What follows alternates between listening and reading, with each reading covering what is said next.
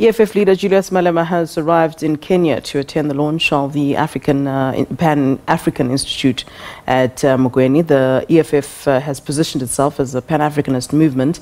There are sister parties in countries such as Liberia, Ghana, Namibia, and Lesotho. Upon arrival, Malema was met by Kenyan academic Professor PLO Lumumba. Uh, who was also a keynote speaker at an EFF lecture, uh, which formed part of the political party's birthday celebrations earlier this year.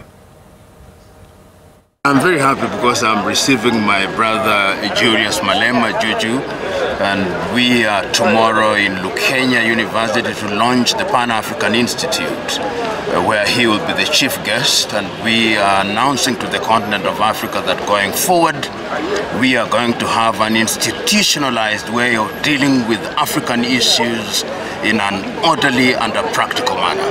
Well, we are coming to launch a Pan-African Institute, an institute that uh, will be established all over uh, the continent because uh, we have an interest in making that, making sure that the continent becomes one.